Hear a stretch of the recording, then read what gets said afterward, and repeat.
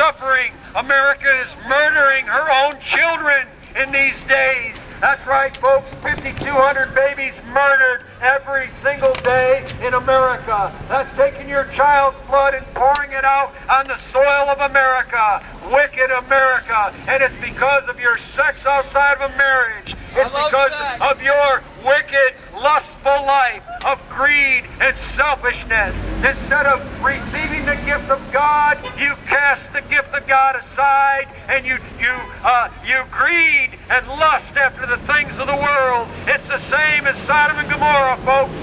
God said the sin of Sodom, it was what? It's fornication, folks.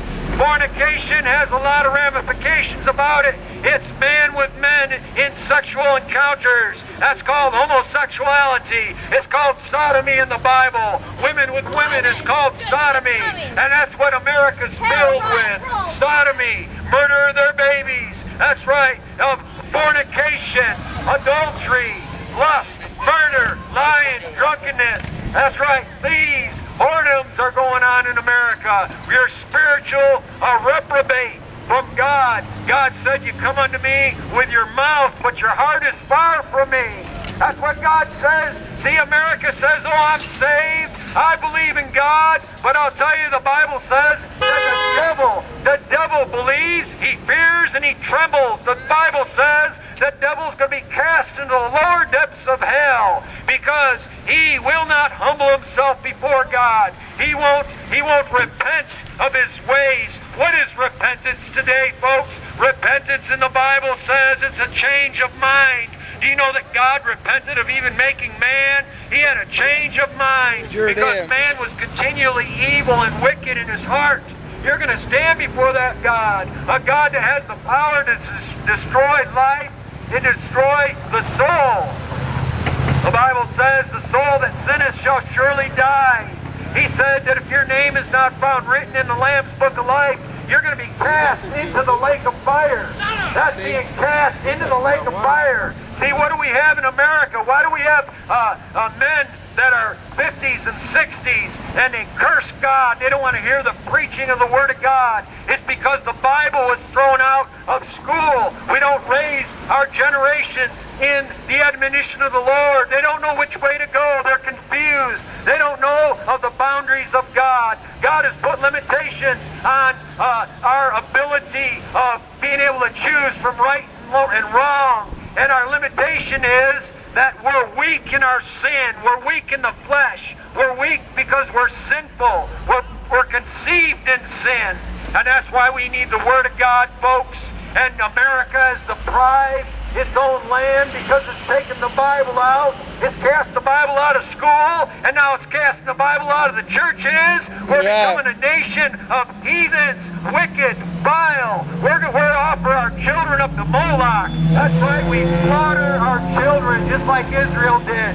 We, we murder them.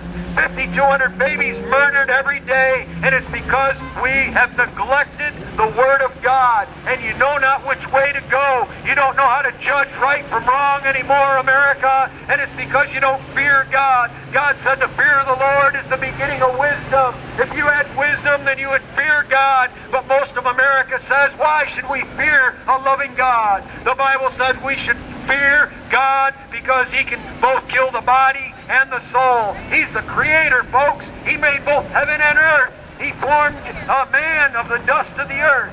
Is there any other power greater than God? I'll tell you, the religious horror of America is that Catholicism, folks. It's a, it's a Catholic church. It's wicked as hell. It's deceived millions to go to hell. You need to wake up, America. Your religion of the land is evil and it's wicked, but it's being spearheaded by that Catholic church. They, they have proven themselves to have a priesthood of whoredom, of their, they're wicked, liars, they're thieves, they're murderers, they're drunkards. That's right, folks. They hate God. They're the ones that killed the saints, drank the blood of the saints all the way down through the ages. They lead the, the ecumenical movement in America throughout the world. That's right. Hey, God said that little horn will come up. It'll be unlike any other. I'll tell you, that, uh, that Catholic Church is unlike any other. Yes, the Catholic Church fell, but the papacy rose up. It's unlike any other government. It is a government unto itself. and it's a religious leader of the world. That's right, it's unlike any other. And it, and it has a boisterous uh, little mouth, folks. It's right, it's a little horn, but it has a big mouth. It says, uh, that Pope says he's the vicar of Christ. He carries 666 Vicar on himself. He is the, the devil advocate himself. That's right. That old Pope, he is wicked and he's vile. He has a priesthood that is wicked and vile. And you follow right after the whoredoms of the religions of this world, America. You need to repent of your, your wicked religions and turn to Jesus Christ and Him only. He is the way, truth, and life, and no man come unto the Father but by Jesus Christ. You're not going to get into heaven going through Buddha or going through uh, Allah or some other religion. You need to go the way of the cross through the blood of Jesus Christ. It is the way, truth, and life. There is no other way. And I'll tell you, Jesus Christ, when He laid His life down on that cross, He said, I'll lay my life down and I'll pick it up again. That's why we ought to fear God, because He has power over death and hell. He's the only one that had victory over death and hell. And that Bible says Jesus Christ is the door. He's the doorway into heaven. That Bible says that Jesus is the door. He said, by me, if any man should enter in, he shall be saved. That's a promise of God. You can be saved. That's right. You can have salvation. You can be cleansed from your sin and have eternal life. You could have the Holy Ghost living inside of you. That Bible says you must be born again or you cannot see the kingdom of God. If you're not born again, you're going straight to hell.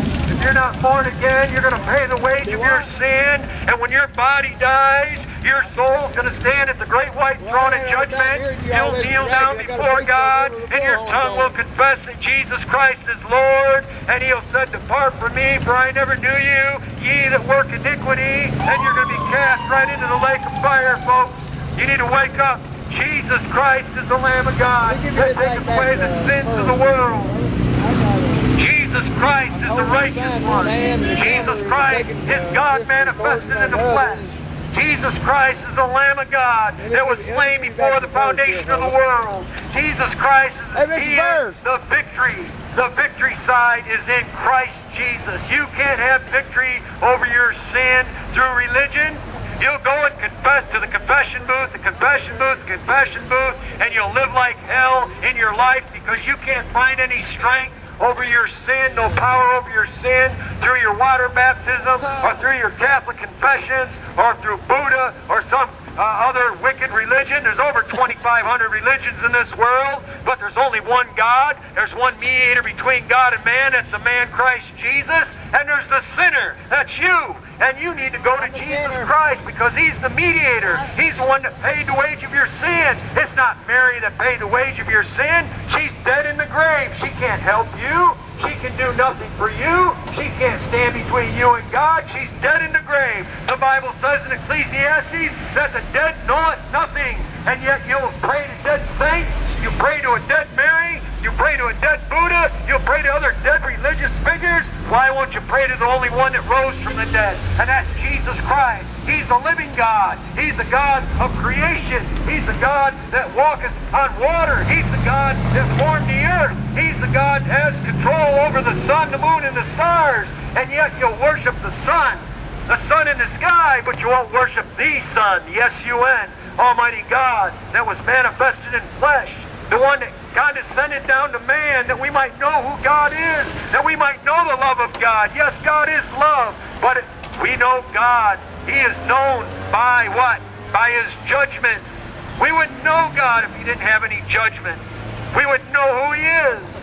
But God came to judge the earth through Jesus Christ. And it's Jesus Christ that testifies against your sin. That's why you hate him. If Jesus Christ didn't come, then you wouldn't know no sin. You wouldn't know who he was. He is the Word. In the beginning was the Word. The Word was with God, and the Word was God. The same was with God in the beginning.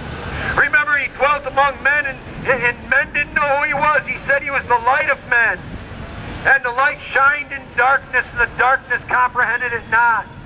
You don't know who Jesus Christ is unless you get in that that was given to us in the 855.